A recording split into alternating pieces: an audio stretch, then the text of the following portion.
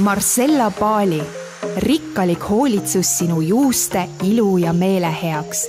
inspireeritud lopsakast ja külluslikust paliloodusest, loodud naiste ilurituaale täiustama ja sisemist ilu esile tooma. me usume, et kõik saab alguse sinu seest. loo enda elus hetki enesehoolitsuseks ja sära looduslikul, harmoonilisel ja enesekindlal viisil tere, head inimesed! Te kuulate ajakirja Eesti Naine podcasti Iga naine on lugu ja mina olen Ingrid Peek. ajakirja Eesti Naine saate jälgida paberajakirjast veebis aadressil eestinaine.ee ning Facebookis ja Instagramis ning inspireerivate naiste lood leiate nagu ikka kõikidelt podcastide platvormidelt,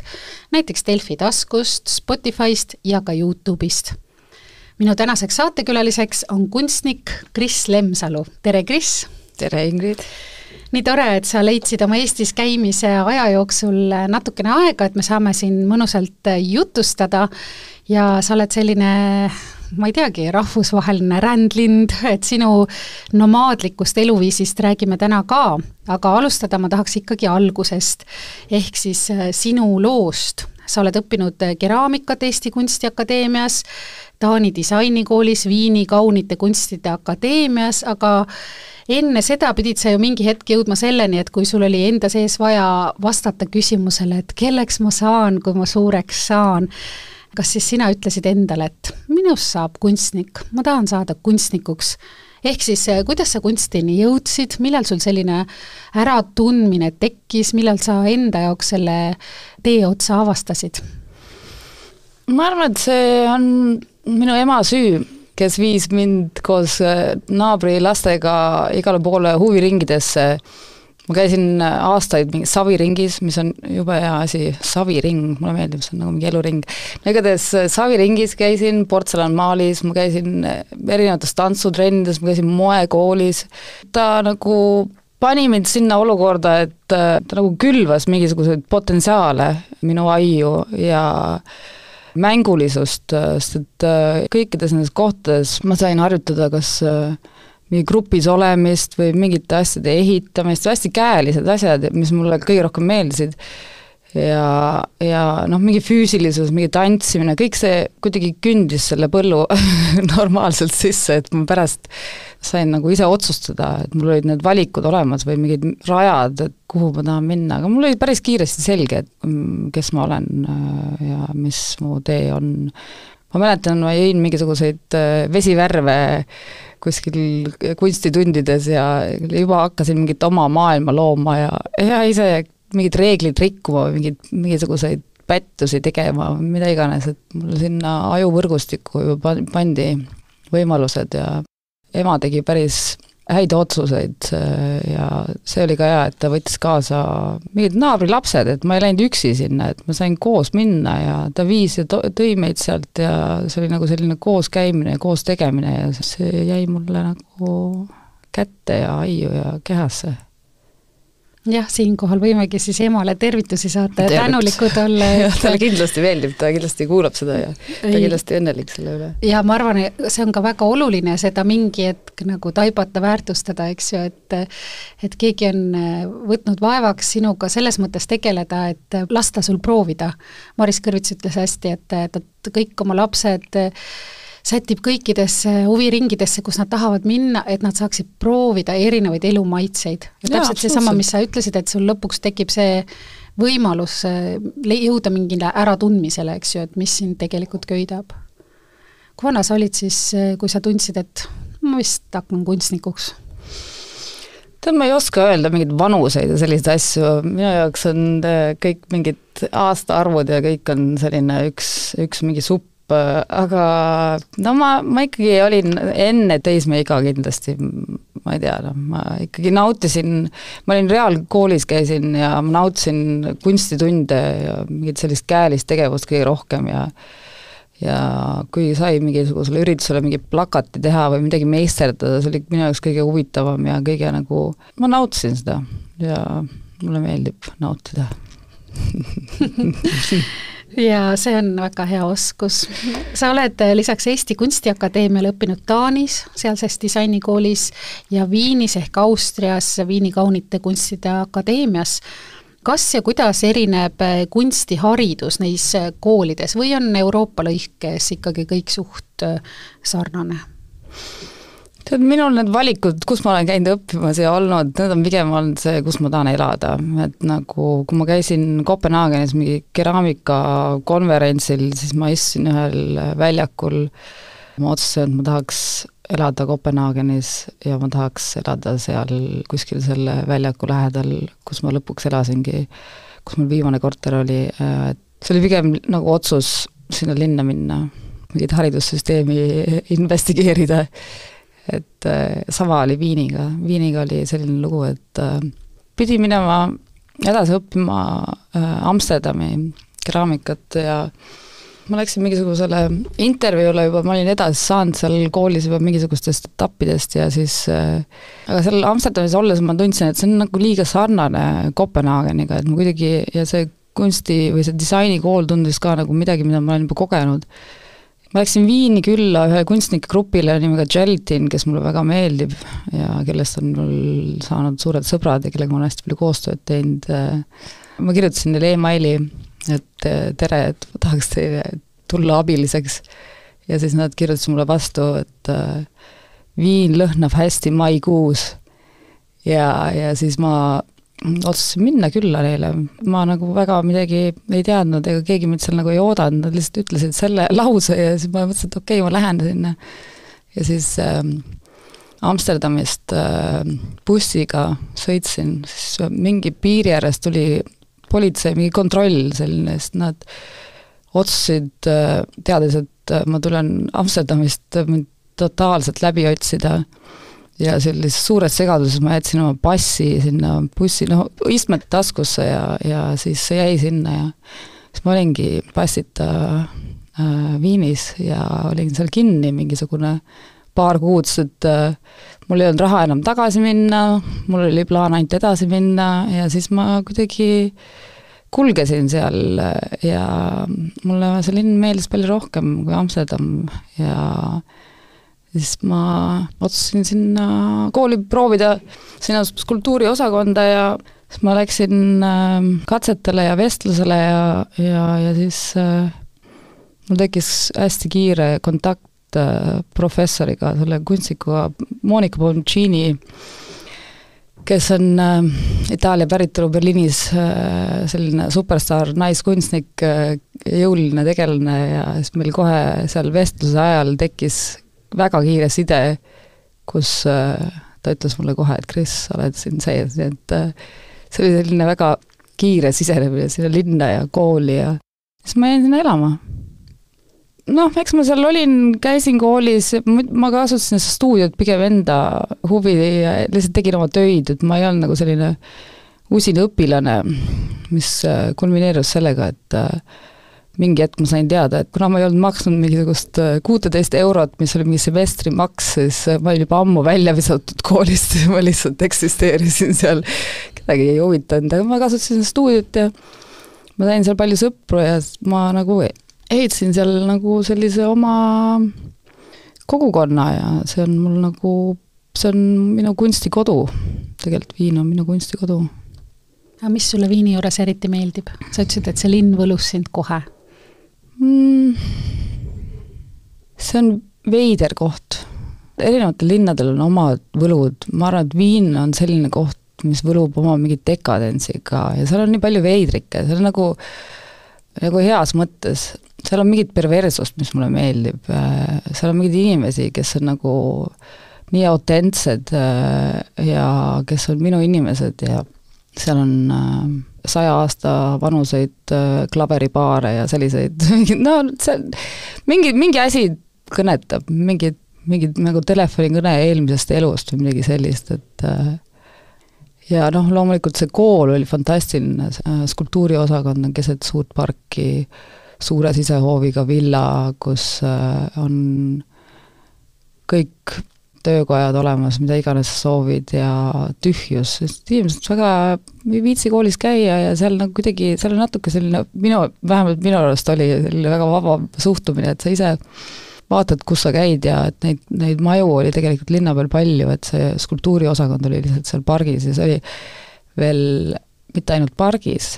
see oli ka lõbuspargi kõrval peale, peale kooli läksime, võtsime ühe sellise mingi lõbusa, lõbuspargi sõidu, ta oli nagu mängumaa, ideaalne, pingevaba ja seal ma veetsin päris palju aega. rääkides mängumaast, siis sa ütlesid mulle nii toredasti, et kunst on nagu mäng, kui me rääkisime, et millest siin täna rääkida ja et äh, lisaks erinevate mänguruumide katsetamisele on äge leida ka erinevaid mängukaaslasi mm. -hmm ja sina oled teinud ju väga palju erinevaid, väga erinevaid koostöid, alates Eesti maalikunsti vanameistrist Tiit Pääsukesest kuni noorema generatsiooni kunstniku Johanna Ulfsakini, eh, oma abikaasa Ameerika muusika Kip Malone'iga ja veel ja veel ja veel igasugu ägedaid tegelasi, kellest sa võib-olla siis ise saad rääkida, et tahakski teada seda mängimist ja mängukaaslaste teemat natuke lahti võtta, et millised on su enda lemmikkoostööd olnud, mis sa oled teinud, teinud, kas on midagi põnevat veel tulemas ja kui sa saaksid loominguliseks mängukaaslaseks valida ükskõik keda, keda sa tahaksid valida? on sul keegi mõni selline unistuste kunstimängukaaslane? no ma jälgin alati inimesi ja ma olen alati avatud uuteks koostöödeks, aga võib-olla mingis lähitulevikus ma tahaks teha Saara Lukasega mingi su suurema pikema projekti eest, et äh, noh,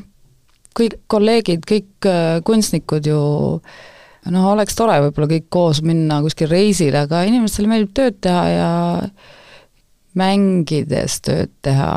see on minu põhiline, see on nii suur teema, see on nagu, tean, põhimõtteliselt see on, kuidas ma elan ka, et äh, sellise ikkagi päris mängleva kergusega sul tekib nagu teine lähedus, kui sul on selline koostöö, sest et äh, loomingulised inimesed, see on nagu intiimsem ja seal see, mulle meeldib see moment, kui äh, koos luues sa saad lähedasemaks inimesega ja siis lihtsalt kasvatad sõprust ja kasvatad seda sidet ja nii ma elangi põhimõtteliselt. nii ma võtangi vastu otsuseid, näiteks äh, nüüd eelmine aasta ma kutsusin Johanna Ulsaki, teeme, teeme filmi koos, kuna mul oli selline tunne, et noh, tal, tal on oma pere ja me, sõprus oli ka kuidagi no vahepeal näeme, siis jälle ei näe, aga siis ma mõtlesin, et kuidas kuidas seda inimest nüüd natuke võrku saada ja siis ta oli nõus, et äh, see on temale ka nagu mingi täielik väljakutse, sest et ta on tegelikult kunstnik ja tekstiilikunstnik, aga ma tean, et tal on seda silma ja tunnetust, et ähm, siis me reisimegi peaaegu aasta aega koos, filmisime siin Eestis, filmisime Mehhikos, filmisime New Yorgis, Bukarestis äh,, Vilniuses ei mäleta, kus veel, no me ikkagi tegime päris korraliku tuuri ja, ja, ja see oli ilus aeg ja äh, see tõi meid tagasi väga lähedasteks sõbrannadeks ja see oli hea, hea viis ja noh, nii ma teen. ootan kutset yeah. jah, seda filmi sai näha sinu isikunäitusel Donatella elukeeris, mis Tartus oli sel suvel, praegu on see muidugi läbi, ja sellest, mis näitused sul tulemas on, sellest räägime võib-olla hiljem. aga mis mulle meeldis, sa ütlesid, et äh, mängides tööd teha ja elu mängleva kergusega elada. räägi natuke sellest oma elufilosoofiast, sest et noh, me oleme ju eestlased, meile meeldib muretseda, alates murelitest murakatest kuni lasteautode, majadeni, inimkonna tuleviku pärast, millest iganes, eks ju. et kuidas sa selle mängleva kerguse enda sees lood või oledki sa loomu poolest äh, sellise kerge olemisega olnud kogu aeg? ma ei tea, kas ma olen olnud nagu kerge olemisega, aga ma arvan, et mul on kogu aeg olnud mingisugune absurditunnetus või mingi huumor kui ellujäämismeetod ja nii kiiresti, kui mul oli võimalik, ma läksin ära tegelikult, kui ma, mulle meeldib tegelikult, kui ma ei pea otsima rõõmu nagu hauast. et, et ta on rohkem pinnal ja seda ma olen kogenud, kui ma olen kuskil teistes kohtades pikemalt elanud, et äh, rõõmu hoidmine on suur töö ja see, kui mul vahest see käest ära libiseb, ma äh, olen väga teadlik sellest ja ma hakkan äh, seda jälle otsima ja ma, mul on omad meetodid, omad viisid, sest see on minu lemmikseisund. on rõõm? jaa. aga millised need meetodid ja viisid on, millega sa rõõmu otsid, leiad ja hoiad? no kõik käib lainetena, sa ei saa kogu aeg olla nagu rõõmus, aga mulle meeldivad mingisugused äh, visuaalid, ma nagu praegu teen ühte tööd, mis on valgusfoor. Ja, ja tihti ongi nii, et sa oled nagu kas punases, kollases või rohelises, et äh, suudad ennast nagu adekvaatselt analüüsida, siis saad, saad aru ja saad aru, mis puudub. aastate jooksul sul on tekkinud nagu mingid meetodid mõned on tervislikud, mõned on ebatervislikud. Äh, no nimeta mõned tervislikud. ebatervislikke no, olen... teavad paljud. jaa, no ma olen äh, viimasel ajal väga palju äh, sporti hakanud tegema, mis mulle teeb rõõmu, ma hakkasin Covidi ajal poksimas käima, mul on väga lahe, New Yorgis väga lahe poksitreener nimega Crush, kes on lihtsalt väga armas kogukonna inimene ja, ja ta aitas mind väga palju ja ma kõnnin meeletult pikki vahemaid, ma kõnnin rahulikult äh, läbi linna New Yorgis, Brooklynist Manhattanile, Manhattanilt Brooklynisse äh, ja ma kõndisin siia ka täna Järvelt vanematekodust see on hea viis, kuidas lahendada asju, ma kõnnin nii kaua, kui ma olen leidnud lahenduse mingile probleemile või mingi, midagi, mis häirib, et nagu kõnnid maha, nagu see lihtsalt kukub maha lõpuks, et äh, kõndimine on üks asi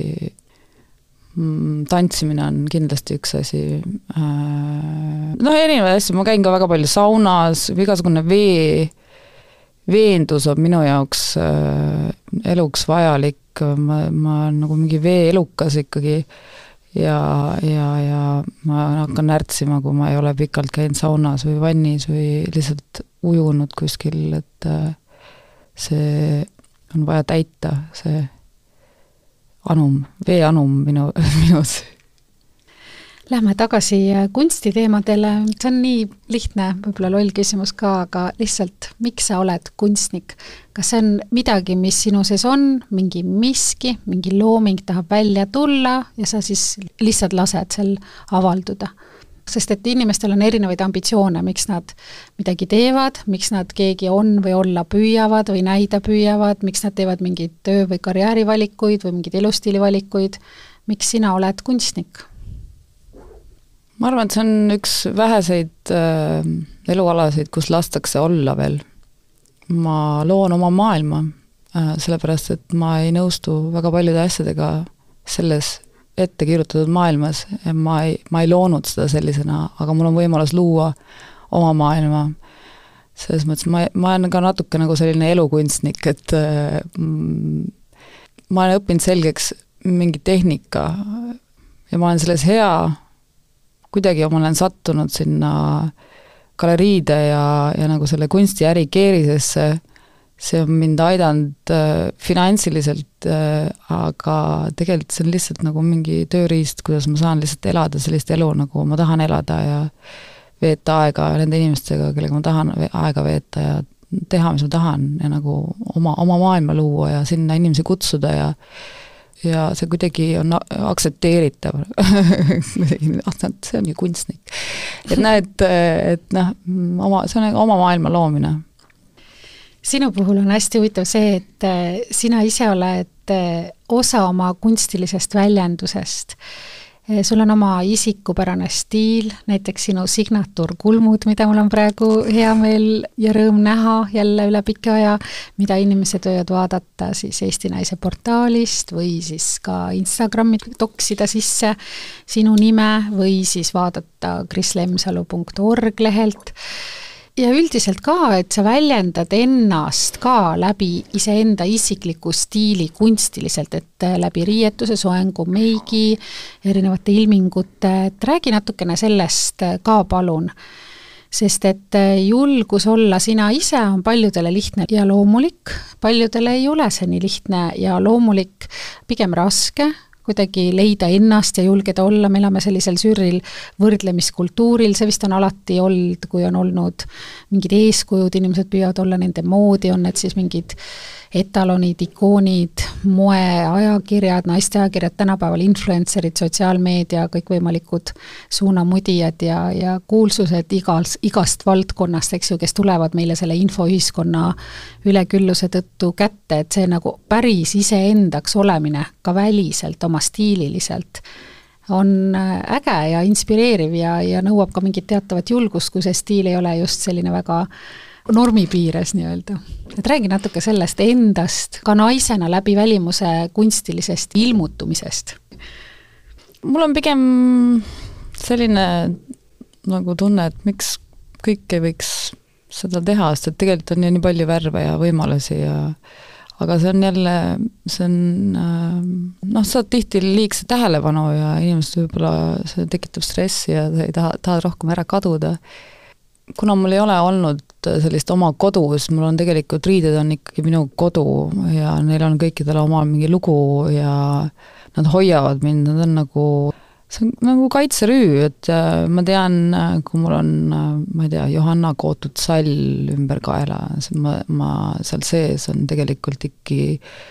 tema äh, tundide viisi energiat ja kui ma olengi kuskil, jalutan üksi, siis ma saan selle peale mõelda ja see hoiab mind. või siis äh, ma olen äh,, hakkan saama oma ühe sõbranna, ühe Mehhiko sõbranna, Barbara Sanchez-Keeni vanu ülikond, sest et ta on äh, moekunstnik ja lihtsalt asjadel on minu jaoks noh, samavõrdne, kui kellelgi on mingisugune ma ei tea, ämma ostetud tapeet või mingi portselan, mis on vanaema käest äh, pärinud, mida iganes, noh, need on minul seljas, et äh, ja äh, see on ka julgus seda näidata, et noh, inimesed ei, ei näita oma kodusid võib-olla, välja arvatud selle ETV saates. jah, Kroonika kodueris noh, see on ka selline, see paabulinnundus, see on äh, nagu teema minu jaoks, sellepärast et siis ma nagu äh, näitan, et ma olen avatud ja ma olen avatud uutele inimestele ja ma, inimesed äh, tulevad mu juurde ja see on minu viis, kuidas leida neid oma, oma inimesi ja ehitada neid kogukondi tegelikult, millega ma tegelen pidevalt. mul on lõbus nii, see ei olegi nagu mingi, isegi mingi küsimus et oleneb lihtsalt, kus ma olen, äh, kus, kus riigis või linnas ma olen, et äh, mingites kohtades antakse mulle rohkem märku, et sa oled erinev, mingites kohtades lastakse olla. kus antakse märku, et sa oled erinev? Eestis kindlasti on mul selline tunne, aga noh, selles mõttes, et ma olen nagu täiskasvanud inimene ja see mind ei häiri, aga muidugi on mugavam, kui sind pigem kannustatakse ja, ja tähistatakse ja sinu isiksuse vabadust äh, tunnustatakse, see on minu jaoks nagu mugavam keskkond. New York on selline linn, kus äh, sa võid teha, mis tahad, nagu olla, kes sa oled ja seda nähakse ja sellele on nagu selline roheline tuli või ja inimesed äh, pigem on positiivsed ja nad, sellepärast nad kolivadki sinna, et leida teisi inimesi, kes on samasugused ja, ja, ja niimoodi on pingevabam ja sa saad kasvada ja oma eri, erilisuses või autentsuses või mida iganes, saad nagu areneda selle po-, selle poole, et sa ei ole nagu mingi nael, keda kes on natuke väljaulatuv, keda on vaja toksida sinna nagu samale tasemele kui teised, et no lihtsalt äh, ma olen nii ammu neid kostüüme ja teinud ja riietusega mänginud, et äh, vahepeal lihtsalt äh, tahaks rahulikult olla ja mm, New Yorgis ma tunnen ennast äh, hästi koduselt äh, ja ma, ma saan isegi rohkem ennast ehtida ja see on lõbus ja see on nagu mänguline, mis ma õitsen tihti seal, aga noh, mul on selline tunne, et mida suurem linn, seda nagu raskemad äh, kaalukausid on, et et noh, seda negatiivset on sama palju kui positiivset, vahepeal tundub, et isegi rohkem on negatiivset, aga samas noh, jälle siis jälle midagi üllatab, et äh, ma leian New Yorgist palju mängukaaslaseid. linn, isegi kui ta on nii palju muutunud aastate jooksul, on ikka, tal, tal on ikka mingi energia, mis on võluv ja mis on eriline ja mis on ainulaadne. jah, ja nende kulmudega, see on nagu minu jaoks nii lihtne, nagu sa nägid, vaata, ma panin näpu sinna äh, lauvärvi sisse ja lihtsalt ma võin teha seda autopeeglist või, või pimesi ja see on juba märk sellest, et ma olen valmis suhtlema ja ma olen nagu, ma olen siin, ma olen kohal ja et ta on pigem nagu selline märk minu jaoks, enda jaoks ka, et kui ma kui ma joonistan endale need kulmud pähe, siis ma, siis ma olen, ma olen olemas, ma olen siin ja valmis, valmis seiklusteks põhimõtteliselt, et äh, maailmale avatud, eks? jaa, maailma avatud aga kust sa selle kulmu idee peale tulid? ma kujutan ette, et see on nagu mingi moment, kus sa siis taipasid, aa, see olen mina. ma ei mäletagi, see on olnud ikka pikka, pikka aega ja, ja, ja ma arvan, et ma olin võib-olla mingi kahekümnendate alguses midagi sellist äh, mm, ma arvan, et äh, lihtsalt äh, ega see ei olegi midagi erilist, see on nagu liigutus võib-olla ripsmetest kulmuni, et ta ongi nagu mingi selline naljakas žest, on ju, ma, mingid inimesed värvivad silmi, ma värvin kulme, see, ta ei ole tegelikult eriline, aga see on nii naljakas, et ta kuidagi muutub eriliseks ja kummaliseks ja nagu märgatavaks, sest noh, minu jaoks on see absurd ja see on minu jaoks ka nagu selline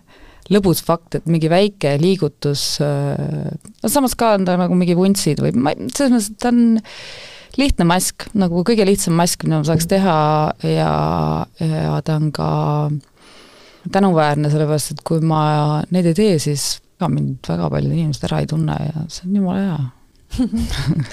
Jah, see on tõesti, see, see on väga hea, mis sa ütlesid minu meelest, et kui sa teed need oma signatuurkulmud pähe, siis sa oled maailmale avatud, sa annad märku, et noh, nüüd ma olen,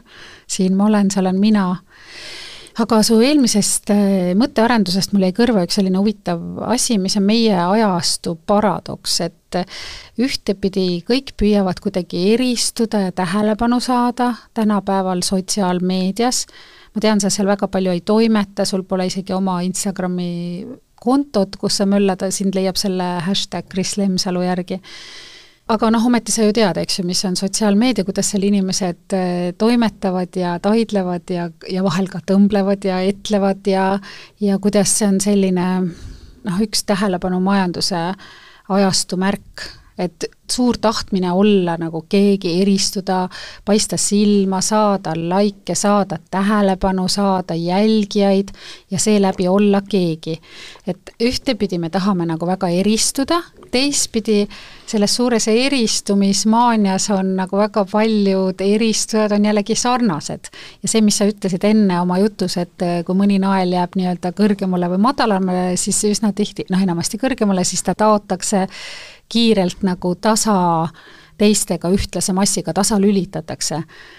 et minu meelest on see, on nagu hästi omapärane nähtus, mida meil võimalus tänu sellele infoühiskonnale jälgida, et me oleme inimesed, me tahame kuuluda sellisesse kogukonda, me tegelikult oleme üks suur mass tervikinimkonda siin planeedi peal, siis ühtepidi tahetakse nagu eristuda, aga kui sa nagu valesti eristad, jutumärkides valesti, eks ju, teistmoodi parajasti kehtivatest normidest, trendidest, väidetavatest tõdedest, mis iganes, siis sind hakatakse tasalülitama või noh, tänapäeval on tühistama, on ju, et kas ja kui palju sa seda jälgid, mis sa mõtled üldse sellest, ajastu märgist, mida ma just kirjeldasin, mis hõlmab äh, nii sotsiaalmeediat, infoühiskonda, sellist tohutut eneseeksponeerimist, mingit sulli ja feimi jahtimist ja teistpidi samas on see kõik üsna ühelaadne.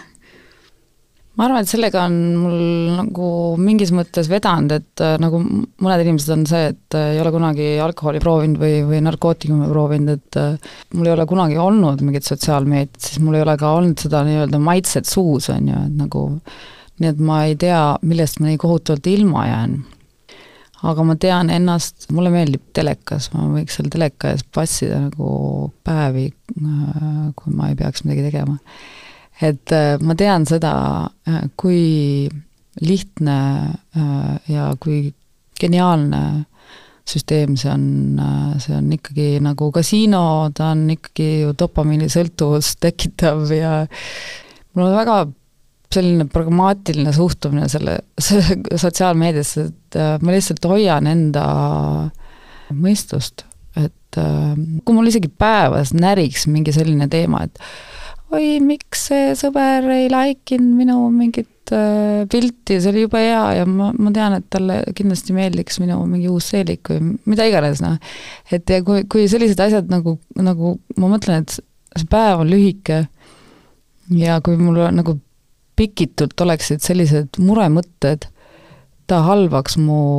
mind psühholoogiliselt päris korralikult ja mul on selline tunne ka, et et ta võtaks minu loomingulisusest äh, nagu päris suure tüki ära, sellepärast et ma näen nagu mingeid hoovuseid äh, kunstis,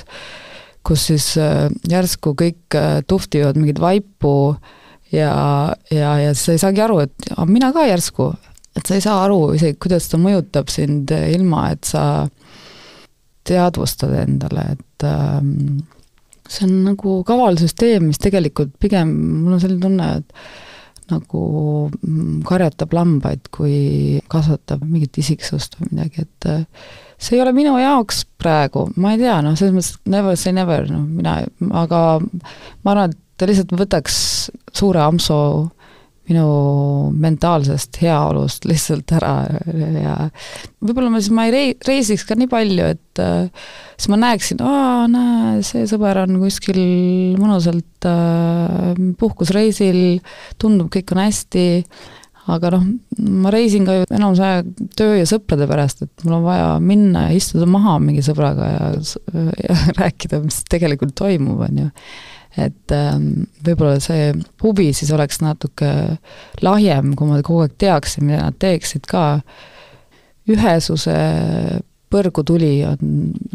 ta minu jaoks üleüldiselt, kui ma olen nagu natuke karmimas, karmima sõnaga, ma olen ka haavatav ja ma arvan, et äh, see tekitaks minus palju stressi ja äh, ja kuidagi mulle meeldib olla ka sellises liikuvuses, et kui ma reisin kuskil, siis ma kirjutan, aa, ma olen siin, äh, ma ilmun välja, ma koputan uksele, ma, ma viskan väikse kivikesega vastu akent, äh, pigem ja ma üllatan ja ma rõõmustan nii, äh, kui pidevas kontaktis või sellises olemises, et see noh, see on selline isekas kaast, et see teeb mulle ka palju rõõmu, rohkem kui pealiskaudne kontakt. Tänapäeval inimestel keskmine teleka vaatamise aeg Eestis oli minu mäletamist mööda neli tundi, keskmine mobiiliekraani kasutamise aeg on seal viie ja seitsme-kaheksa tunni vahel, noh, need tihtipeale kattuvad, eks ju, aga kui sa mõtled selle peale, kui suure osa hõlmab meie elust ekraan, noh, mingisugused seadmed, digimaailm, kogu see teema, mis imeb meid endasse, see kasiinosõltlase võrdlus oli päris hea, et see selline dopamiini laks, mis me sealt saame, aga ka see, et see ju võtab osakese sellest nii-öelda päriselust, ma ei ole mingi ludiit, et tehnika on saatanast, me ju lindistame siin mikrofonidega, paneme pilte üles nutitelefonidega ja kõik on tore, aga lihtsalt kõige võti on doseerimine, eks ju, et kuidas seda teha niimoodi, et, et see ei võtaks seda rõõmu, et see ei tekitaks seda muret ja stressi, nagu sa ütlesid. et mulle hästi meeldib sinu see suur kontakt päriseluga, sa oled mitu korda maininud ka seda, et sul on hästi oluline see oma kogukond ja et siin, seal või kolmandas kohas, kus sa oled, et sa ehitad nagu oma kogukonna. mis sa selle alla mõtled, kas see on sarnase maailmavaate, sarnaste väärtustega inimeste leidmine, kokku koondamine, on see kunstiringkond, millised need sinu kogukonnad on? ma tunnen selle inimese ära hästi kiiresti juba, ma olen nagu, mul on satelliit on äh, väga terav et äh, neid ma olen tekitanud äh, kohtades, kus ma olen pikemalt elanud äh, ja see on nagu sellise mingi pesa ehitamine, et ma olen tegelikult oodatud nendesse kohtadesse tagasi ja mulle meeldib see tunne ja mingi hetk see on vastupidine, et need inimesed tulevad minuni kõik, aga mul hakkab natuke nagu noh, ma ei ole nüüd, noh kurat, see on nii dramaatiline, aga mul hakkab natuke nagu süda verd tilkuma, kui ma ei ole kuskil linnas käinud, mingeid inimesi näinud pikka aega ja ma tean võib-olla, et neil on võib-olla raskused või, või vastupidi, on väga hästi ja ma tahaks jagada ja olla seal ja et mul nagu on niimoodi, et mingid linnad on need, okei okay, see linn on südamel, pole käinud, et kuhu ma mahutan selle aja ja kuidas ma sinna saan ja noh, see on see juhtub äh, orgaaniliselt äh, õnneks äh, ja, ja siis ma saan, aga noh, mm, paar linna on praegu küll ootel ja raske on niimoodi laiendada ja minna jälle uude kohta ja hakata seal, et elu on tegelikult jube pikk. Et jõuab kõike teha. Seda on küll värskendav kuulda. nii mitu teemat, kus siit edasi minna, ma just mõtlesin, et kas räägime nüüd siin nomaadlikust eluviisist, aga kui sa seda elu on jube pikk sisse tõid, mis nii väga eristub sellest tavastereotüüpsest mõtlemisest, elu on juba lühike ja kiirelt on vaja kõik asjad ära rabeleda, eh, siis mul meenus see, mis sa ütlesid ka mulle Eh, ükskord, et äh, mul on reeglitega probleeme, ma ei mahu tavamõõtmetesse, et see nagu kumab igalt poolt läbi, kas see on äh, loomulik olek sul lihtsalt? jah, sest äh, mina ei mõelnud neid välja ja ma ei pea nagu selles eksisteerima, mingid piirid on, on ju, aga, aga nii palju, kui äh, ma tunnen, et äh, ma saaks nendeta, siis ma tegutsen nendeta, et äh, igas olukorras. jah, ma arvan, et see tuleb selle mingi vabaduse teemaga, et nagu mingi selline suur liikumise ja vabaduse ihalus ja nagu vajadus, sellepärast et äh, ma tunnen ennast elus nagu ma olen liikumises, kas mingi bussi, trammi, trolli, lennuki, jala, ratta, mm, mida iganes, laevaga, mm, siis ma olen, mm, siis ma olen elus. Ja ma just tegin äh, illustratsioone Gregor Kulla raamatule, mis tuleb vist välja nüüd juulis kuskil või augustis tegelikult, äh, tal oli mingi jube hea lause seal, et ma jooksen selleks, et äh, hiljem ära joosta, mulle väga meeldis see, aga ma, ma võib-olla mõtleks seda niimoodi, et enda puhul, et äh, ma liigun selleks, et äh, hiljem nagu kuidagi haihtuda. et noh, elu on, on väga pikk kas see on äh, see põhjus, miks sa elad tegelikult tänapäeva maailma mõistes sellist äh, pigem nomaadlikku eluviisi, et äh, sa pole nagu tegelikult kuskil juurdunud, et sellist nagu permanentset pesa loonud, et sa oled loonud neid kogukondi, pesakesi erinevates paikades, mis sind on kõnetanud oma mingi vabaduse ja loomingulisusega, aga sul ei ole ju sellist, et noh, ostsin maja, kaks koera, pangalaen, eks ju, sellist nii-öelda juurdumise kohta olnud. et lisaks Eestile sa oled ju elanud Viinis, Austrias ja New Yorgis Ameerikas ja Taanis, Kopenhaagenis, sellest sa ka rääkisid, eks ju mm -hmm., kuidas need kohad nagu sind võlusid siis mõneks ajaks sinna jääma kas siis selle taga, et liikuda maailmas ringi, elada eri kohtades, suhelda erinevate tegelastega, ehk siis oma nende erinevate kogukondadega, millest moodustub sinu selline tänapäeva nomaadlik eluviis, päris digital nomad sa ei ole, eks ju, sa ei tegele startup induse ja IT-ga, aga sa oled nagu nomaadlik kunstnik, eks ju, kes igal pool midagi loob, teeb tööd, elab, et räägi võib-olla seda natukene veel lahti, et miks sa ei ole juurdunud? ma arvan, et ähm, minu jaoks on huvitav lihtsalt äh, küpseda inimesena ja selleks, et ma küpseks inimesena, mul on vaja kogeda maailma läbi enda keha äh, ja kogeda erinevaid kultuure ja inimesi, miks midagi on nii, kui ma pikemalt kuskil peatun, mul on meeletu huvi kõige vastu, et ma mõtlen, ma küsin, et miks see nii on, ma ei küsi, et miks see nii ei ole, et see aitab mul aru saada maailmast, inimestest, see kasvatab mind ja ma olen kasvav inimene ja kodu tuleb siis, kui selleks on õige aeg ja õige hetk ja see on loogiline, ma tunnen sellised asjad ära, et noh, et mul ei ole olnud praegu mingi kohaga otseselt sellist äh, vajadust, et mul on vaja mööblit soetada kuskil. Selline shoppamine käib ja mis on parem aeg shopata, kui, sa oled noor. ma, ma ei ole nagu murelik, sellepärast et ma lihtsalt arvan, et see kõik, kõik vajab aega ja mul on suur huvi ma ei tea, inimeste ja kultuuride ja kõige vastu, et äh, võib-olla oleks tore, kui mul oleks mingisugune villa, aga võib-olla varsti on äh,, sest et ma vaikselt hakkan mõtlema, mingid mööbliesemed, mul on hakanud nagu aiu vaikselt äh, kangastuma, et nagu ma mõtlen, et ma tahaks ikka mingi väga uhke vanni endale ise ehitada ja mingisuguse, et mingi noh, aga noh, vanni ja voodi, see on ikkagi natuke ikkagi mm, hotelli tasemel, aga ma mõtlesin ka, et ma oleks võib-olla väga lihtsalt ka mingi selline kunstnik, kes elaks hotellis, kui ma leian mingi hea diili ja, ja, ja oleks noh, neid inimesi on ajaloos olnud erinevaid, et äh, mulle meeldib see süsteem äh,, et ma ei tea, võib-olla ma leian laheda hotellitoa endale ja sellest saab minu kodu, eks näis.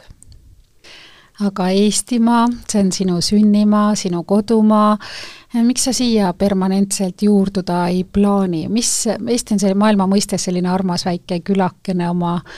võlude ja valudega, mis sind Eesti puhul rõõmustab, vaimustab, mida sa ootad, kui sa siia tagasi tuled, jälle naudid, kaifid? Ja mis sind morjendab? Mulle meeldib siia tulla lennukiga ja siis uksest välja tulles äh, mulle meeldib äh, see õhk, mida ma hingan. sealt edasi läheb keeruliseks aga mul on siin äh, oma vanemad, mul on siin väga head sõbrad väga, väga, väga lähedased sõbrad. ma olen käinud vahepeal vanemate juures maal, ma maandan seal, käin saunas, hüppan jõkke. mul on siin inimesed, kellega ma teen koostööd. Ma teen tegelikult väga palju oma töid siin ja siit saadetakse siis, kui, kui nad on kuskil, kui näitus on kuskil väljaspool Eestit, et siit saadetakse tööd mulle meeldib, et siin turvaline, ma saan jalutada öösel rahulikult üksi koju, mul ei ole siin hirmu, mis on erakordne. mul ei olnud Jaapanis ka hirmu.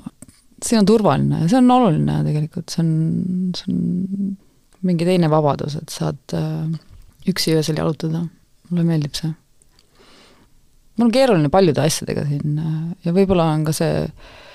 see, et ma olen natuke sellisest generatsioonist, äh, kus ikkagi vanaema mulle ütles, ma mäletan seda aega, kui ta ütles, et pill tuleb pika ilu peale ja see on kohutav asi, mida öelda lapsele. see halvab sind, seda ei tohiks teha. ja ma tunnen, et see ei ole päris välja juurdunud, selline mõtlemine ja selline suhtumine. Selle peaks vahetama ära, mingi lill tuleb pika ilu peale, et siis hakkab midagi kasvama, kui sul on palju ilu ja kui sul on palju nagu rõõmu, et äh, äh, ma arvan, et see tunnetus, seda mul on raske alla neelata lihtsalt siin olles ja ma tunnen, noh, ikka tunned äh, seda eestlase mingit äh, ma ei tea, inimloomust ja tunned rohkem inimesi, siis see võib rohkem haiget teha lihtsalt ja sa oled nagu tundlikum, et ähm, kas eestlane on selline raskemeelne või? eestlane, mulle tundub, et ta on nagu selline kannatav kurb, kes äh, jube kiiresti lendab see baratt pähe ka, kohe kolmkümmend viis saab täis, siis kohe tuleb see mingisugune äh, mutikostüüm selga ja nagu kuidagi mul, ma nagu tunnen, et see tegelikult see elu ja noorus on nagu pikem ja nagu äh, Äh, ei tasu kohe nurka surema minna, et äh, jaa, aga ma olen ikkagi tänulik, et mul on see koht, kuhu põgeneda, kus on loodus ja on nagu mingi naljakas koobas, kuhu ma saan vahepeal minna ja olla ära ja see on nagu kuidagi mingi privileeg, et äh, ma ei tahaks ameeriklane olla mul, mul on hea meel, et äh, ma tulen sellisest kohast, kuhu ma saan peituda vahepeal ja nagu kuidagi rahus olla. sa siin üles kasvanud, see on äratundmine ja see, kui ma siia tagasi tulen ja tekitab mus rahu. ja seda rahu on vaja. Marcella Paali, rikkalik hoolitsus sinu juuste, ilu ja meele heaks inspireeritud lopsakast ja külluslikust paliloodusest, loodud naiste ilurituaale täiustama ja sisemist ilu esile tooma. me usume, et kõik saab alguse sinu seest. loo enda elus hetki enesehoolitsuseks ja sära looduslikul, harmoonilisel ja enesekindlal viisil kas kunst on universaalne nähtus, et räägib kõigiga oma müstilisel moel Eh, mida siis inimene tunnetuslikult tajub, vastavalt iseenda olekule, mida siis eh, ta seal kunstniku loomingus näeb või, või kuidagi tunnetab, või on eh, ikkagi eri maailmajagudes erinev kunstitaju, kunstimeel, kunst ju peegeldab mõnes mõttes ka seda ühiskonda, eks ju, kus ta sünnib. et sa oled nii palju erinevates kohtades kunsti näinud, kunsti teinud, kunstnikega suhelnud, Euroopa, Ameerika, Mehhiko, Jaapan, need on juba väga erinevad sellised kultuurikeskkonnad. räägi natuke kunstist kui sellisest üldisest nähtusest, mis meie hingekeeltel mängleb. no igal pool on oma ja see on loomulik, sellepärast et äh, inimesed elavad oma mullis tegelikult ja ma ei, ma ei oska üldistada ja nagu näha kunsti nagu mingisugune vaatleja seisukohalt, sest et see, ma elan selles äh, ja ma oskan ainult enda kohta rääkida, et mis, mis mind nagu kõditab, kunst mind äh, liigutab, see on tegelikult ikkagi mingid asjad, mis on, mõjutavad allapoole pead. tavaliselt mis mind naerma ajab, sest äh, naeruga sa saad ka väga tõsiseid sõnumeid edastada. ja tead, see on, üks asi on see kunstiturg ja see business ja teine asi on noh, see on ka nii muutunud, kõik see kunstimaailm, et ta on ikkagi nagu erinevad, galeriid on ikkagi poed galeriid on poed erinevates linnades. oleneb siis, kellel, mis kunstniku mis hetkedel mm, käte peal kantakse, kelle nimi on kuumem kui kellegi teise nimi, keda on mõtet osta, äh, keda on mõtet koguda, keda üles tõstetakse kavaldades, skeemitades, see on selles mõttes, et kunstiturg on nagu noh, see on äri, see ei ole mingi et noh, et seal on mingid teised reeglid, on ju, aga noh, loomulikult on erinev kunst, mis kõnetab erinevaid kultuure ja nende ma ei tea, äh, traumasid psühholoogiliselt, mida iganes, see on loomulik, selles mõttes, et äh, samamoodi nagu muusika, et äh, aga seal on nii palju linke, millest ja sildu tegelikult ja mm, see on ka mulle väga huvitav, et mis toimib, kus toimib, miks mingi kunst töötab selles kontekstis, teises kontekstis ei tööta, nii edasi, nii edasi. kõik on huvitav, ma vaatlen selliseid asju pidevalt. milles seisneb kunsti olulisus inimesele, miks meil üldse on kunsti vaja? Minu jaoks on see nagu kingitus, et äh, sa saad äh, minna sisse mingisse maailma, lihtsalt sa avardud, su mõttemaailm, su teadvus, kõik kasvab, sa saad äh, suuremaks inimeseks ja sa saad äh, võib-olla tänu sellele ise luua midagi omal alal või leida lahendusi või leida viise, kuidas mingi olukorraga oma elus tegeleda või äh, see lihtsalt äh, on selline loominguline kingitus ja kui sa oskad seda vastu võtta, siis äh, see avardab su elu lihtsalt. Üks äh, tore teema on minu meelest äh, generatsioonide ja maailmavaadete erisus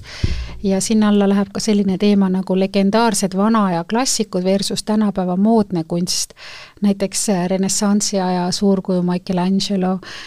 kes oli ju üliandekas skulptor, maalikunstnik, poeet, arhitekt, noh, enamus inimesi, kes on korragi kunstiajaloo õpikut sirvinud, ükskõik mis erialalt. Nad siis on, noh, teavad, et tegemist on ikkagi suure kunstnikuga. ja siis näiteks tuuakse tänapäevast mõni näide, noh näiteks, et suurel lõuendil, valgel lõuendil on väike must täpp ja sinna juurde on kirjutatud, et portaal igavikku. Äh, Jaan Toomikust rääkimata, kas kunst on kunstis kunsti näha, mis teeb kunstis kunsti, kas äh, tegelikult kõik on kunst, lihtsalt et kuidas seda serveerida mul ei ole kunagi olnud huvi olla mingi selline arvamusliider ausalt öeldes, et äh, mm, minu jaoks on see, et see on lihtsalt minu elamisviis. ma tahaks elada sellises ühiskonnas, kus kõik näevad igas asjas kunsti, aga see ei ole reaalsus. kõik muutub hästi kiiresti, need ajad ei ole need ajad enam. mingis mõttes mind huvitab muusika, tantsimine, tuvide oksjon, mida iganes, sama palju kui kunst, et äh, ma ei vaatle seda äh, sektorit äh, rohkem kui teisi elualasid või tegevusi tegelikult, et äh, ma olen nagu pigem selline inimene, kes on ela ja lase elada ja ma, ma ei, ma ei võta nagu selliseid suuri seisukohti ja see ei ole huvitav minu jaoks, sest et kõikidel on oma teekond kui palju sa oma peas mängid äh, mõtetega, et mida toob tulevik, et milline on näiteks tulevikukunst, et praegu ju sel teemal on tulised arutelud, tehisaru, küborgid, äh, kosmoselennud, multidimensionaalne maailm, kas kõik on lihtsalt hologramm, noh, mida iganes, eks ju, et see äh, reaalsuse maailma, inimkond, tulevik, tehnika, planeet Maa, meie kui selline kübeke kuskil linnude galaktika äärealadel, perifeerias jällegi, nagu me siin Eestiski, on ju. et kui palju sa selliseid tulevikuvisioone äh, vurritad oma peas ja mis sa arvad, milline see tulevikukunst võiks olla? ma ei tegele väga sellega, ma äh, olen nii praeguses hetkes konstantselt ja ma hoian ennast meeletus tegevuses, sest need mõtted tekitaksid mul ainult muremõtteid. Äh, mul on selline tunne, et ma, mul on, ma olen tänulik, et mul on mingisugune käeline oskus, mis võib-olla on äh, lõpuks äh, väga vajalik ja nagu ainulaadne, aga ma ei kujuta ette, sellepärast et ma ikkagi sündisin ilma interneti et ja analoogajastu lapsed. analoogajastu laps, et ja see on, tegelikult on, see on nii väike aeg ja nagu, nagu see muutus, mis võib toimuda, mul ei mahu see pähe, ma ei kujuta ette seda, aga ma aktsepteerin seda, sellepärast et äh, muutused tulevad ja, ja on vaja nendega pehme olla Lähme tagasi sinu enda kunstiloomingu juurde sest äh, lisaks sellele, et sa oled ise kunstja, oled ise kunstnik, oled sa vahel ka sõna otseses mõttes osa oma kunstiteosest. mulle meenub esimese näitena kohe sinu New Yorgi kunstimessil Freeze äh, kahe tuhande viieteistkümnendal aastal olnud töö Whole Alone kaks, äh, kus sa olid iseenda loodud kilpkonna kilbi all. sina olidki see kilpkonn seal mainekal A-kategooria messil ja selle taiese ja kestvusperformance'i märkisid ära Freeze ise žürii ning kajastas ka New York Times, see on selline suur asi kunstnikule sellistel sündmustel, see oli toona ka üks kõige Instagrammitumaid taieseid. räägi natukene lähemalt eh, performance kunstist, et mis hetkel sa tunned seda sellist nagu tunnet või tõmmet, et sa ise inimolendina saad osaks oma loomingust, mis enamasti on skulptuurid, keraamika, mingid sellised füüsilised materiaalsed objektid? kuna mul tööd on väga laetud äh,, alates äh, mingitest kangastest, mis ma kasutan, kõik detailid, mis ma sinna nagu energeetiliselt sisse panen, siis äh, mingid, mingid tööd äh, lihtsalt äh, ütlevad mulle, et mul on sind vaja. ja siis ma.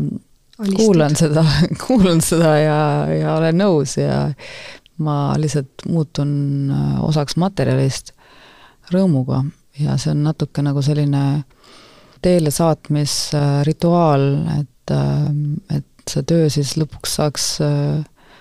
rahulikult omaette pärast elada, pärast seda, kui me oleme selle koos, koos olemise ära teinud. ma teen seda järjest rohkem, ta on muutunud ka nagu, nüüd ma olen põhimõtteliselt viimasel ajal ma niimoodi iga kord, kui olen, aa, mul tuli mõte, ma olen seal ka ise see on juba mulle endale psühholoogiliselt vajalik, ta on meditatsioon, kuna ma olen äh, tunde liikumatu lihtsalt äh, noh, algus on võib-olla kõige keerulisem ja siis ma suudan lihtsalt minna mingisse äh, konditsiooni, kus ma, ma reaalselt ei, ei, ei, ei, isegi mingi sõrm, sõrm ei liigu. See on selline teine kulgemine, mis ajataju kaob ära ja see on huvitav, sellepärast et äh, tihti mul on mingid prillid või midagi, et ma ei, ma ei näe tegelikult äh,, mis mu ümber toimub. vahepeal mul on võimalus piiluda, aga üldiselt äh, ma ikkagi olen lihtsalt enda sees leidnud mingisuguse rahu pärast, a la viisteist minutit läheb aega ja siis, ja siis ma olen seal. nagu ma ei eksisteeriks enam, et see on nagu mingi naljakas praktika, mis ma järjest rohkem hakkab huvitama ja, ja ma ei ole veel seda enda jaoks nagu võib-olla piisavalt äh, hästi ära sõnastanud ja nagu uurinud, aga ma olen teel sinnapoole mm,. et jah. looming ühendab endas nii-öelda loomingulise performance aspekti ja samal ajal on ka meelerahu praktika. jaa, pead alati saama endale ka, ma ei ole mingi linnuema, kes toob toitu, et see peab ikka olema selline mm, back and forth, et äh, edasi-tagasi ja äh, kommunikatsioon ja nagu pean, pean saama sellest. ja sest ma annan palju ja selline balanss ja kesktee on, on, pakub mulle rahuldust. kas sul on ka kontakt muusaga? paljud äh, loomeinimesed räägivad, et tekib eriline seisund, mõned räägivad reaalselt muusast keegi miski ilmutub, nii-öelda jagab seisundit või loomingut, kuidas sinul see loomesünd, kontakt siis kas muusaga või loojaga, vahel öeldakse looja flööt, eks ju, mille läbi looming ilmutub, et kuidas need seisundis sinus äh, tekivad? või kas sa lood ise neid teadlikult või need tekivad juba täiesti niimoodi mõnusalt loomulikult? et kui sa lood, mis sinu sees toimub? mm,? jah, ma saan nagu, ma saan ilmutusi, visuaalseid, et äh, mingi hetk hakkab võib-olla mingi sümbol niimoodi ketrama, ma näen seda mm, igal tänavanurgal ja poes ja ja kodus ja ükskõik kus kohas, inimeste T-särkide peale, mida iganes, et mingi sümbol, siis ma juba saan aru, et ma, ma okei okay,, see sümbol tuleb minuni, sellega ma hakkan tegelema ja siis see vaikselt kasvab ja see kasvab nagu skulptuuriks või installatsiooniks äh, ja ega ma enne stuudiosse niimoodi ei lähegi, et äh, kui mul see visuaalne pilt on totaalne tegelikult, et äh, ja vahepeal ma praktiseerisin, kui ma olen New Yorgis, ma teen sellist asja, et ma lähen, seal on Jungi raamatukogu äh, Midtownis ja, ja see on väike selline naljakas äh, Jungi ühing, äh, kus on ka avalik raamatukogu ja seal on kõik, äh, kes töötavad, on psühhoanalüütikud. ma tihti lähen sinna oma mingite joonistustega, lihtsalt enda jaoks me niimoodi arutame lahti need ja, ja vaatame ja uurime ja et ja siis kõik on väga selge, sellepärast et kõik detailid on äh, kas mingisuguse mm, üldise, minu jaoks mingisuguse, mingi maailma konditsiooni või mingi mingi õhustikuga seotud või minu isiklikku elu või mingid lood, et nagu, et äh, kõik äh, selgineb seal, see on mul nagu selline isiklik väike lõbustus olnud viimased aastad, ähm, aga jah, ma näen, näen oma töid ja see toob väga palju rõõmu, et kui need pildid tulevad, need pildid tulevad tihti ka sellises olukorras, kus ma olen nagu lõdvestunud või ma tantsin või, või ma liigun või nagu, et on see nagu mingi teadvuses on nagu selline nagu rahu, nagu mingid, ma ei tea, et saab, taimekesed saavad äh, võrsuda ja siis nad äh, tulevad üles ja teevad mulle väga palju nalja mida rohkem nad mulle nalja teevad, seda parem nad on, sest et seda rohkem julgust ma pean koguma, et neid päriselt ära teha, sest et tihti see absurditunnetus äh, äh, läheb mul järjest äh, tugevamaks, et see on ka nagu mingisugune mm, viis, kuidas hoida ennast nagu pinnal ja jah, maailmaga nagu kuidagi sõber olla sa esindasid Eestit ka mainekal Veneetsia biennaalil aastal kaks tuhat üheksateist. tänavu on seal Eesti kunstisaadikuna Edith Karlsson oma näitusega Hoora Lupi ehk Hunditund, mis on saanud äh, väga palju positiivset kajastust ja samamoodi äratas äh, sinu toonane näitus Birth Five High and Buy äh, väga suurt tähelepanu sai äh, nii kodumaises kui ka rahvusvahelises meedias äh, võimsalt kajastatud. mida selline võimalus ehk esindada oma kodumaad kunstimaailma mastaabis nii mainekal biennaalil, mida see tähendab kunstnikule? eks ta üks jaburus on, et selles mõttes, et tegelikult on ju seal ka selline suur ebavõrdsus on ju, et kellel mis eelarved on, mis nähtavus, mis paviljon, mis palatso, mida iganes, et minu jaoks on ta selline naljakas üritus, ta on nagu mingisugune spordivõistlus, tegelikult seal antakse ka ju neid auhindu. mulle kukkus see kuidagi sülle ja ma, ma võtsin selle vastu ja ma andsin ennast, endast parima, mida ma sain sellel hetkel oma elus me töötasime kuskil mingi aasta aega ja meil oli ikka päris suur tiim, ta on ikka selline ikka väga-väga selline nagu nuustikust kõik välja pigistamine, et pärast vaata, vaata, kuidas edasi elad. et äh, näiteks ma otsustasin, et ma ei suhtle üldse meediaga, sest et ma lihtsalt ei suutnud, ma ei, mul ei olnud nagu, mul ei olnud mingid sõnad kohale jõudnud endale, ma hoolitsesin selle eest, et me teeksime piisavalt äh, mingisuguseid eraldi töid, et mida saaks müüa, et äh, erarahastust saada, et mul oleks stuudios äh, kõigile maitsev lõunasöök, lihtsalt need asjad olid minu jaoks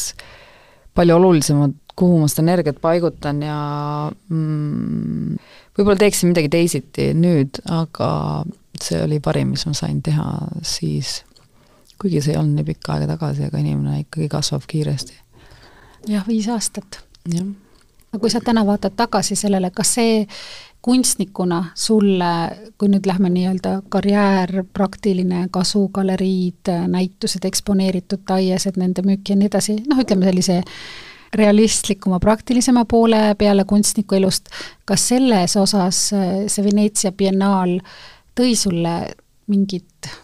vabandust, kõlab nagu nõmedalt, aga tõi see mingit kasu karjääri edendamise mõttes, kõik olid need vau, sa oled seal käinud, me oleme seda näinud, noh pildid ju sellest jäävad äh, igale poole ringlema, isegi kui inimesed sinna ise ei jõua, nad saavad aru, eks ju, mis töö, mis mastaap, mis nagu mulje, tunne sellest jääb või on see pigem ikkagi nii, et see on tohutult suur projekt, sa saad ennast proovile panna, teostada ja pärast läheb elu jälle edasi ja vaata, kuidas saad oma leivakese ja lennupiletid? ei, ta on ikka oluline punkt.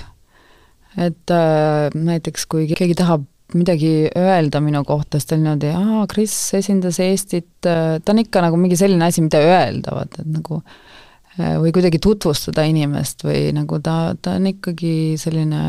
mm, märgiline. Äh, noh, eriti see, et äh, ega, ega ei ole, Eesti on lihtsalt nii väike, et kõigil on võimalus seda, seda teha, et tegelikult see on nagu kaval, et et kui, kui seda öelda, siis inimesed, kes elavad suuremates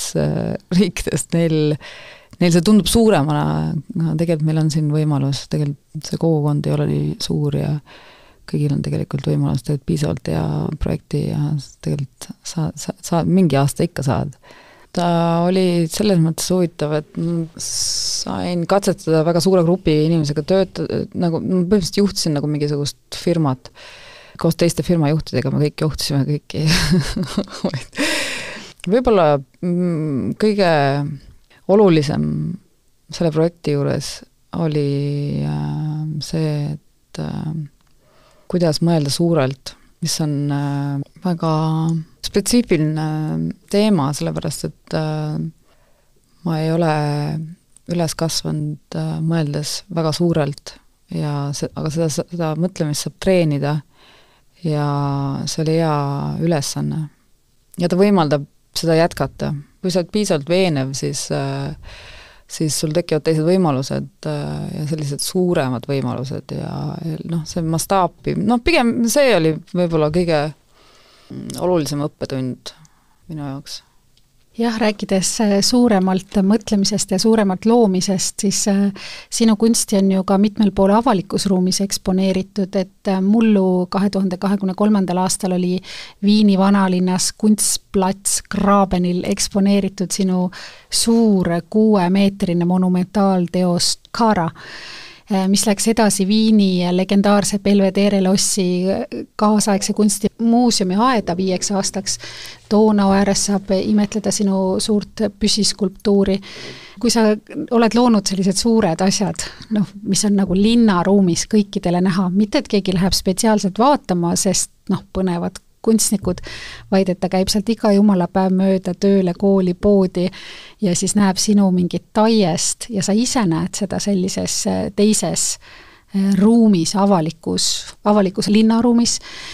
millise tunde see sulle tekitab kunstnikuna, kas see on nagu põnev või hirmutav või äge, vägev?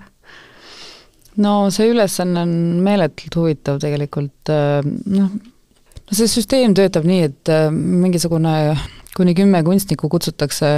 projekti esitama ja, ja siis sa oledki nagu mingisuguse žürii ees ja äh, PowerPointiga nagu mingi reklaamimees äh, näitad ja tutvustad oma ideed ja seal on väga suur osa sellest, äh, kui šarmantne sa suudad olla ja kui veenev ja kui kirglik. et ta on tegelikult ka päris suur väljakutse kunstnikule, kes võib-olla ei ole nagu harjunud mingeid selliseid presentatsioone igapäevaselt tegema, mina küll ei ole, aga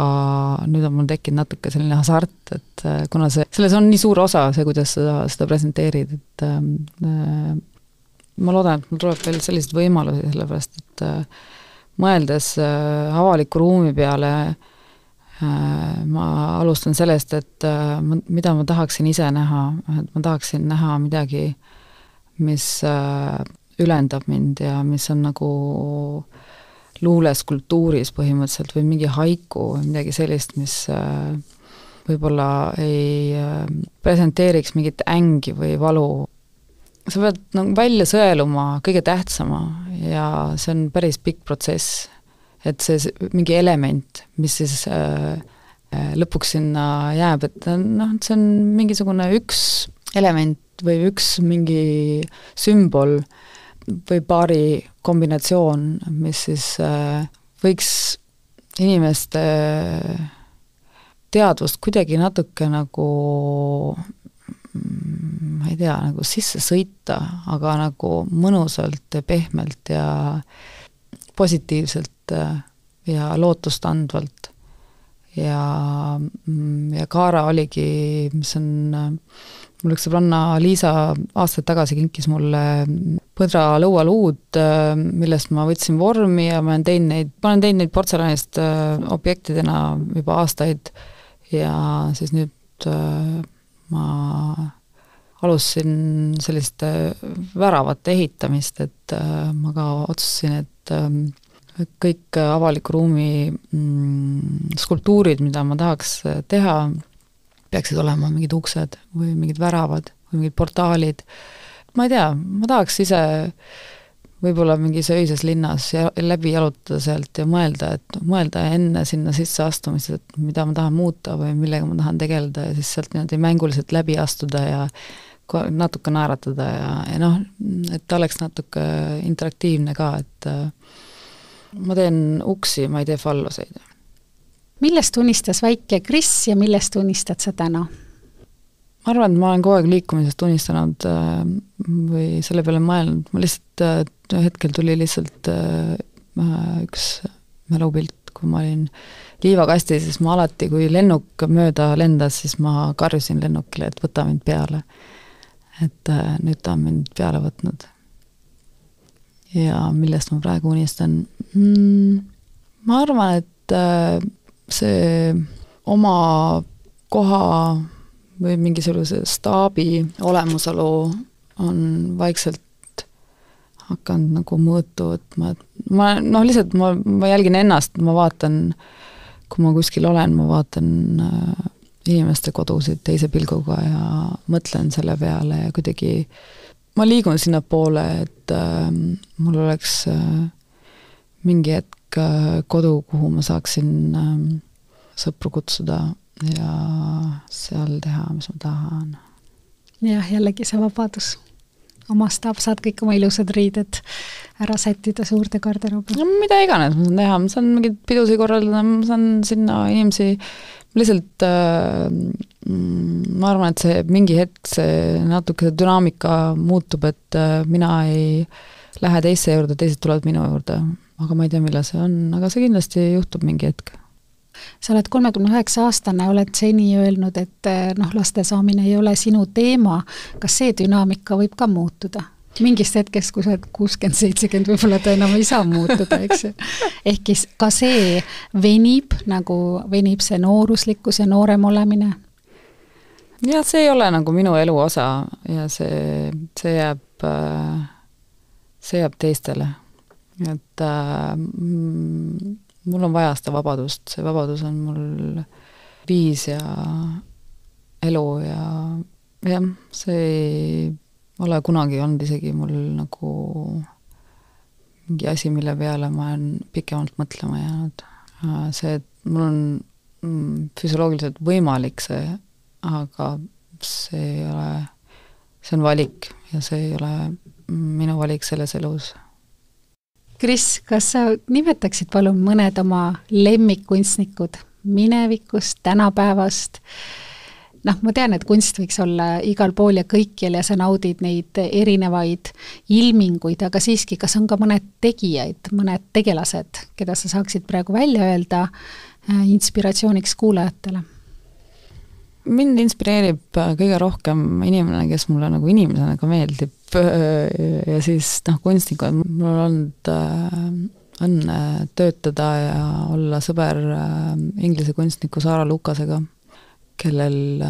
hiljuti oli suur retrospektiiv Dade'is, et tema on mind inimesena meeletult aidanud ja, ja nagu ta on mul selline mentor. No ta on esimene inimene, kes mul tuleb nagu kohe silme ette, sellepärast et äh, ma ise üritan ka olla kõigepealt lahe inimene ja siis hea kunstnik. Ja kui need kaks asja on äh, kuidagi võrdselt, siis see on päris hea sümbioos tegelikult, jah iga saate lõpetuseks on mul kolm küsimust, mida küsin kõikidelt äh, saatekülalistelt, nii ka sinult, ja esimene on see, et kui sa kohtuksid soove täitva kuldkalakesega, saaksid valida endale kolm õhtusöögikaaslast, ükskõik äh, keda, ükskõik kust ja millisest ajast, kellega sa tahaksid kohtuda ja millest rääkida? No kuna ma teadsin, et sa küsid seda, siis ma nagu mm -hmm. natuke ikkagi haudusin seda äh, ja mm, mul on palju inimesi, kes mulle meeldivad ja mul ei ole väga palju selliseid äh, nagu neid äh, tippe, aga ma mõtlesin, mis tundeid ma tahaks, mida ma tahaks kogeda selle õhtusöögi ajal, siis äh, see oleks kindlasti mm, rõkkav naer, selleks ma kutsuks äh, tagasi Ameerika koomiku Bill Hicksi, kes suri väga noorelt ja kes äh, mulle kuidagi väga korda läks äh, Äh, ja kellel kindlasti on ka mõnus doos äh, eneseirooniat, siis äh, ma tahaks, et seal oleks muusika või mingisugune heli või keegi laulaks, siis ma kutsuks Harry Nilssoni, kes mulle mm, tohutult meeldib, kes on äh, teinud äh, selle loo Put a lime in the coconut, kui inimesed ei tea, ja kes äh, oli ka Lennoni ja Ringo Starri parim sõber ja meeletult hea huumorisoone ja, ja, ja selline pöörane, pöörane tegelane, pöörane loominguline tegelane ja nagu äh, ta kaotas oma hääle, kui nad äh, tegid äh, John Lennoniga äh, karjumisvõistlust, äh, sest et äh, ta lihtsalt karjus nii kõvasti, et ta äh, mikrofon oli verepritsmeid täis. kas ta kaotas permanentselt oma hääle? no see läks nagu natuke rikki? see läks rikki pärast seda jah. ja ka samas väga-väga hea huumorisoonega ja siis, et neid kahte tüüpi mehikest balansseerida, ma kutsuks äh, Anais Ninni äh,, prantsuse kirjaniku äh, ma tahaks, et seal oleks ka nagu suts sellist erootikat selles kogu õhtusöögis ja sellist äh, sensuaalsust, sest tema ju äh, oli väga selline huviline ja rändaja, seksuaalne, ta oli nautleja ja, ja, ja näljane, ta oli meeletult näljane ja lõbutseja, selline. Noh, et see ring ei läheks liiga selliseks äh, mehiseks, siis ma arvan, et Anais paneks äh, need tüübid mõnusalt paika ja kõik saaksime selle olukorra üle naerda ja ma arvan, et see õhtusöök äh, võib igas suunas liikuda ja see on see ettearvamatus, mis mulle meeldib ja see üllatus, et äh, ma arvan, et nende inimeste nagu seltskond ja kombinatsioon rahuldaks minu neid vajadusi, mis mul oleks ideaalsel õhtusöögil kuidas end maandad ja laed, millised on sinu heaolupraktikad ja ilunipid? no nagu ma enne ka rääkisin, tegelikult on mul see vee teema on suur äh, mm, rahutooja, et äh, minu lemmik äh, Jaapani äh, mütoloogiline karakter äh,, tegelane Kappa, kes elab äh, järvedes äh,, jõgedes ja, ja, ja tal on selline kiilas pea ja see on nagu väike, väike vaagen seal, kui ja kui ta saab maa peal ka käia, vahepeal ta käib niimoodi, üritab äh, inimesi äh, napsata sinna vee alla. ja kui see vaagen tühjaks saab, siis ta peab vette uuesti jooksma, et kui keegi näeb seda kapat äh, tänaval või, või metsas või kuskil, siis äh, tuleb teha hästi sügav kummardus, et tal see vesi jookseks sealt peast ära ja, ja siis ta peab tagasi sinna vette jooksma, et mul on natuke nagu sama süsteem, et äh, mm, mul on igas linnas tegelikult oma mingi saun või mingi spa või mingi noh, oleneb, kus ma olen äh, ja eks ma, eks ma niimoodi koorun ja alustan uut äh, etappi niimoodi, see on nagu põhiline tegelikult äh, noh, ega see ei ole, siin ei ole mitte midagi keerulist, õnnelik inimene on ilus inimene, on ju, et äh, et kui sa hoolitsed oma äh, psühholoogilise oma vaimse tervise eest. jaa, absoluutselt, noh see siin, see, siin ei ole nagu midagi sellist äh,, lihtsalt vahepeal võid sattuda nagu puntrasse ja siis on raske suuremalt asju näha, siis peab peab leidma viisi, kuidas kaugele minna ja suuremat pilti näha, siis äh, saab sinna rohelusse jälle tagasi tulla. jalutamine, ujumine, ma olen üldiselt nagu meganautleja, ma nagu lihtsalt nagu ainult et noh, kõik hea söök, hea jook, kõik, kõik on mul nagu, tõstavad äh, rõõmutaset ja siis äh, ma säran ja siis äh, inimesed tahavad olla minu säras ja siis see on hea businessile ja äh, see on kõigile hea, et nagu see on kõik selline suur ring ja kui sa seda nagu toidad ja tegeled sellega, siis noh, asjad toimivad, noh. millest sa viimati erilise elamuse said, midagi, mida sa ka teistele soovitaksid? no ma olin mingi paar nädalat tagasi, olin äh, väiksel mägimatkal ühes Austria mägikülas, kus me siis läksime sõbrannaga, meil oli giid Daniel, kes äh, kohe muutus mingisuguseks mägikitseks ja pani ajama